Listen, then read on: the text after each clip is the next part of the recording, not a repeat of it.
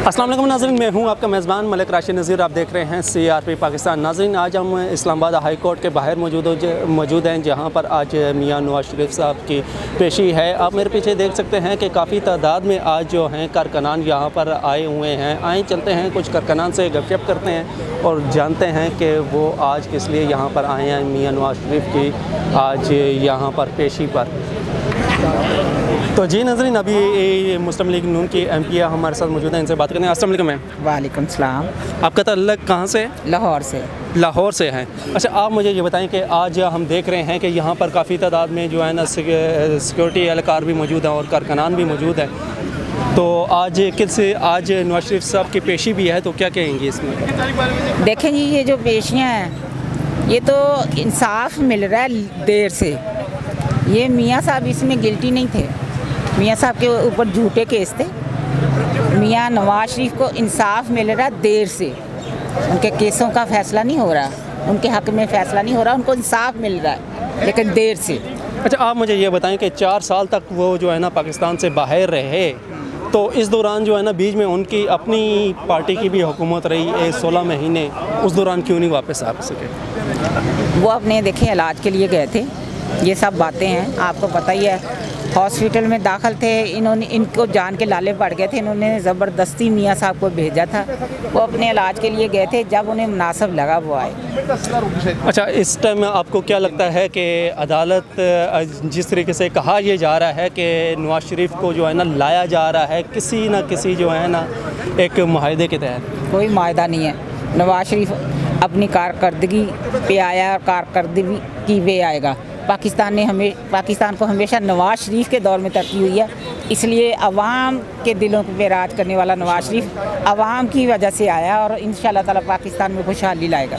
आपको लगता है कि ये जो इस टाइम जो है ना महँगाई के महँगाई का टाइम चल रहा है डॉलर्स का रेट जो है ना चल रहा है हालाँकि अभी यानी कि रिसेंटली पेट्रोल का रेट भी यानी कि चालीस रुपये नीचे गया लेकिन इससे महँगाई पर कोई फ़र्क नहीं पड़ रहा। जो यानी कि खाने पीने की चीज़ें हैं वो वहीं के वहीं हैं। इन ताला बेटा देखें एकदम तो चीज़ें ठीक नहीं होंगी। इन ताला आहिस्ता आहिस्ता ठीक भी होंगी।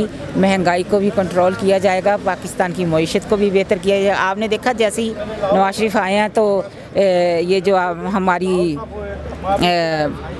क्या कहते हैं उसको मीशत है या हमारी जो पेट्रोल का जैसे पेट्रोल कम कर दिया इस तरह स्टॉक एक्सचेंज स्टॉक एक्सचेंज जो है जी जी वो, वो उसका देखे कैसे गई है हाई। तो इन ताला जैसे ही मियाँ नवाज़ शरीफ साहब अभी तो वो अपने केसों का सामना कर रहे हैं, जैसे वो इनसे फ़ारग होके पाकिस्तान के लिए काम उन्होंने आते ही शुरू कर दिया है। और इन ताला पाकिस्तान तरक्की भी करेगा महँगाई भी कम होगी गरीब की रोटी भी सस्ती होगी गरीब का जीना मरना भी सस्ता होगा। जी बहुत बहुत शुक्रिया जीना। जैसा कि आपको मालूम है कि आज हम इस्लामाबाद हाई कोर्ट के बाहर मौजूद हैं। अभी हमारे साथ पी एम एल एन से जो हैं समीना शेख साहिबा मौजूद हैं। इनसे बात करते हैं। असल मैम। वालेकुम अस्सलाम। मैम आज नवाज़ शरीफ साहब यहाँ पर पेश हो रहे हैं। आज तक उनकी ज़मानत थी क्या कहेंगी? जी बिल्कुल। और बड़े धड़ल्ले से पेश हो रहे हैं और इन आज हक सच की फ़तह और जीत का दिन है और इन जो आखिरी उम्मीद की सूरत में मियाँ साहब का नाम जो था पाकिस्तान के लिए, वो अब साबित कर दिखाएँगे। 21 अक्टूबर उम्मीद से यकीन तक, पाक सरजमीन तक और मियाँ साहब जो आखिरी उम्मीद थे पाकिस्तानी अवाम की, वो इसी अज़म के साथ आए हैं कि पाकिस्तान को वो एक जो हमारा पुराना पाकिस्तान खो गया था, वापस उसी पाकिस्तान में वो लेके आएँगे।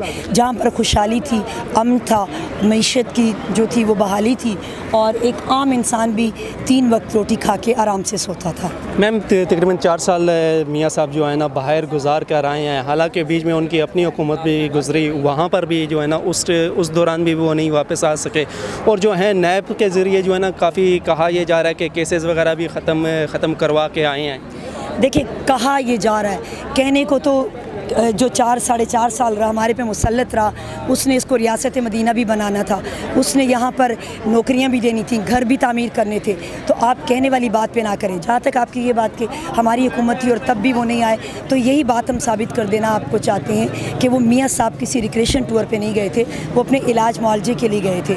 और जब उनका इलाज कंप्लीट हुआ तो वो दोबारा इदारों की पासदारी के लिए, दोबारा इदारों को ट्रायल देने के लिए आप और हम सब के बीच में मौजूद हैं। क्या नवाज़ शरीफ, किसी डील के तहत आए हैं? कोई डील नहीं है कुछ भी नहीं है। बिल्कुल फेयर होके आए हैं और सिर्फ़ और सिर्फ़ आवाम का जज्बा आवाम की खिदमत और पाकिस्तान की खुशहाली लेके आए। क्या लगता है कि आज के इसका क्या फ़ैसला आने वाला है? इन हक सच की फतह और जीत होगी और मियाँ साहब जैसे बाकी तमाम मुकदमात में से बरी ज़मान हुए ये एलिगेशन जो लगाई गई थी ये भी आज जो है वो साफ़ हो जाए जी बहुत बहुत शुक्रिया।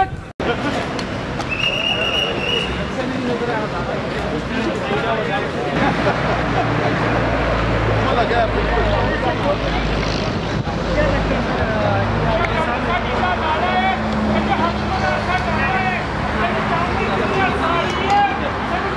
नेक्स्ट प्राइम मिनिस्टर आप देख रहे हैं आज क्या कहते हैं आप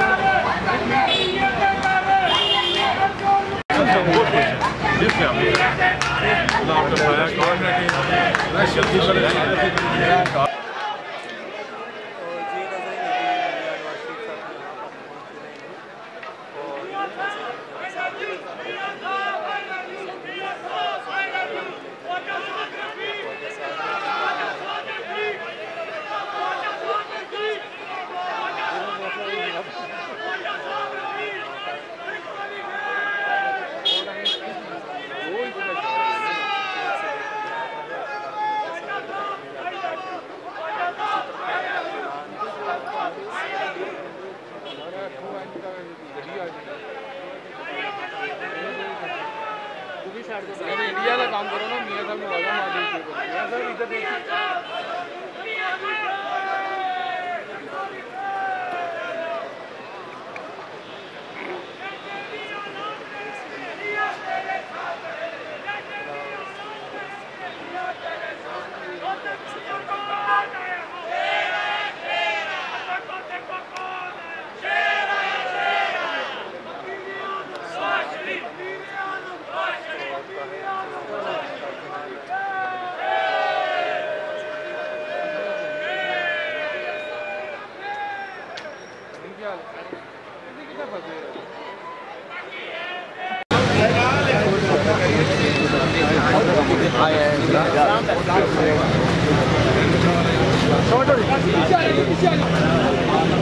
तो जी नजरिन, बिलाखिर मियाँ नवाज़ शरीफ साहब यहाँ पर पहुँच आए हैं। आपने सुबह से यहाँ से यहाँ से जो भी अपडेट हुई, हम आपको बताते रहे हैं।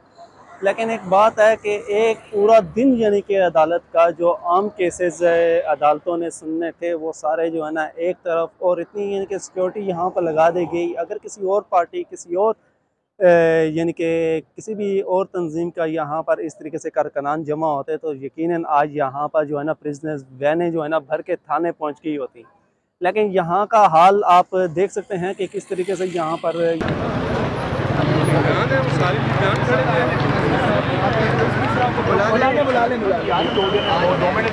कोई बात नहीं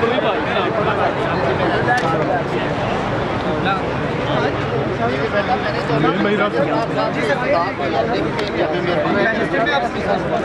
पूरे पाकिस्तान की आवाज़ है कि जो हुकूमत से नवाज़ साहब निकालते हैं। जैसे पहले तीन मरतबा निकाली। आप कहा जाता है कि सोलह माह की जो हुकूमत थी पीडीएम उस पर नहीं बात की जाती सत्रह पे बात की जाती तो नहीं हमने सोलह पे भी की है कि अगर हम ना होते तो खुदा खास्ता मेरे मुँह में खाक अभी तक जो है वो डिफ़ॉल्ट हो चुका होता। ये तो शबाज शरीफ को क्रेडिट जाता है कि उन्होंने इस मुल्क को डिफाल्ट होने से बचाया। और दूसरी बात है कि सियासत नहीं होती सियासत से पहले मुल्क होता है और मुल्क के बाद सियासत आखिर बता दें इमरान खान से या तहरीक साहब को इलेक्शन में होना चाहिए नहीं होना चाहिए क्योंकि पीपल्स पार्टी का बयान आया कि उसके बगैर इलेक्शन नहीं हो सकता। पहली बात तो ये कि ये फैसले तो इलेक्शन कमीशन ने करने हैं और दूसरी बात अदालतों ने करनी है। लेकिन जो मेरी अपनी ख्वाहिश है वो यही है कि सारे लोग आए मैदान में इलेक्शन होना चाहिए लेकिन जो लोग नौ मई के वाक़ात में मुलविस हैं इस पाकिस्तान को चलाने में मुलविस हैं उनके लिए माफ़ी नहीं है वो ख्वा पाकिस्तान तहरीक इंसाफ से हो या पाकिस्तान मुस्लिम नवाज़ से हो। लेकिन सर जो इस्तेकाम पार्टी में लोग जा रहे हैं वो नौ मई के वाक़ में मुलविस थे मुराद राज साहब अभी फ़ारूक हबीब साहब ये इल्ज़ाम लगता है कि वो जो नौ मई के मुलविस है वो दूसरी जमात में जाए तो पवित्र हो जाता है? ये बात गलत है। इसको बिल्कुल जो मुलविस है उनको किसी को भी नहीं छोड़ना चाहिए। और जो मुलविस नहीं है उनको अगर कैद किया हुआ है रिहा कर दें और अगर पकड़ रहे हैं तो पकड़े ना। सर अगर मियाँ साहब वजी अजम बने तो मुस्लिम यानी कि उनके कारकुनान हैं वो मौजूद हैं वकला हैं और इतनी यानी कि सिक्योरिटी आप मेरे पीछे देख सकते हैं कि दो जो है ना जैमर्स की गाड़ियाँ भी खड़ी हैं। यहाँ पर अभी अभी जो है ना मियाँ नवाज़ शरीफ साहब अब जैसे ही अंदर अंदर इंटर हुए हैं और अभी यानी कि थोड़ी देर तक केस की समाहत भी यहाँ से बाकायदा शुरू हो जाएगी तो इसी के साथ ही अपने मेज़बान को, मलिक राशन को इजाज़त दीजिएगा आगे की अपडेट नेक्स्ट वीडियो जी नाजरीन, जैसा कि अभी आप देख सकते हैं कि यहाँ पर अता साहब बाहर आ चुके हैं।